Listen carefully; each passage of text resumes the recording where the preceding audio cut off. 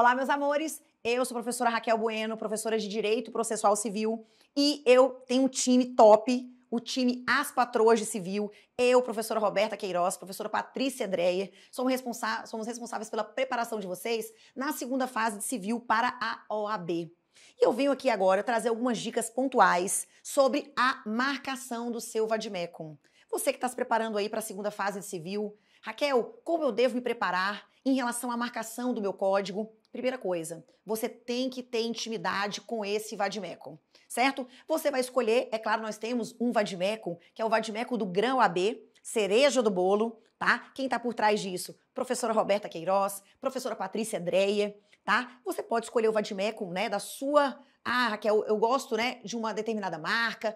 Ok, você escolheu o seu vademecum. Então, toda a sua preparação, todo o seu estudo tem que ser o quê? Lendo, folheando, índice remissivo importantíssimo, tá? Você se atentar para a utilização das etiquetas autorizadas no edital, identificando as principais leis.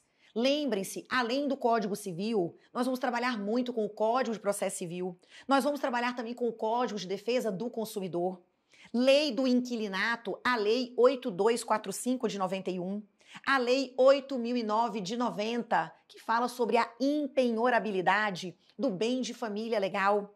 Lembrar também do, da ascensão de temas envolvendo o chamado direito digital. Então a gente tem percebido que o nosso examinador, ele gosta da Lei de Proteção de Dados, a LGPD. Nós temos também o Marco Civil da Internet, várias questões envolvendo divulgações de fotos de nudez, né? Como fazer para retirar esse material, né, dos provedores, das redes sociais, como pleitear as respectivas indenizações. Então, temos a pró dentro do direito das famílias, nós temos ali a Lei de Alimentos, a Lei 5478 de 68, Lei de Alimentos Gravídicos, Lei de Registros Públicos, a Lei 6015 de 73. Então, ao longo dos nossos encontros, vocês vão fazer as marcações, né? Posso utilizar o meu marca-texto, certo? Para poder destacar. Você pode trabalhar com cores, né? Para poder identificar, por exemplo, recursos, defesas. E aí é preciso ter intimidade com esse código, fazer a leitura. Em todas as aulas, eu sempre vou sinalizar para vocês as leituras obrigatórias.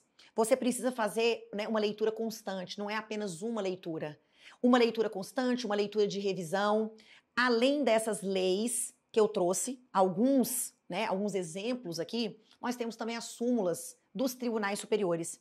E o vademecum, ele te ajuda, porque muitos deles vão ter, após cada artigo, a respectiva súmula que está correlacionada e também os enunciados das jornadas de direito civil, ou até mesmo os enunciados das jornadas de direito processual civil, o Fórum Permanente de Processualistas Civis.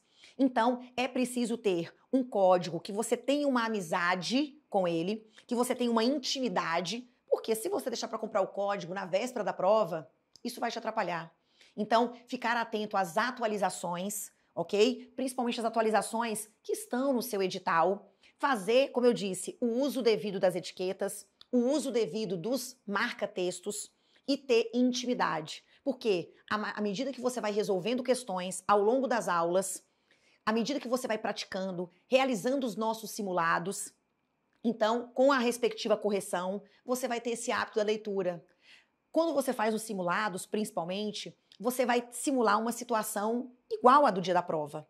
Vai tentar fazer dentro do tempo, vai dividir ali o seu tempo entre a peça prático profissional e as questões discursivas. E aí você vai ter esse trabalho de investigação, identificar as respostas e sair atrás das respectivas fundamentações. Então é importante o quê? Você também ter uma amizade ali íntima com o seu índice remissivo. Muitas vezes você não vai saber de qual, onde está aquele artigo ou se existe uma lei específica sobre aquele assunto. Então, você, a partir do enunciado, você vai pegando ali palavras-chave, por exemplo, ah, uma questão sobre fiança. Então, você vai lá no índice remissivo. Onde vai ter, né? Onde fala sobre fiança? No Código Civil, no Código de Processo Civil também tem. Então, na minha opinião, escolher o seu vadimeco e ter intimidade. Isso quer dizer o quê? É a leitura, é o manuseio.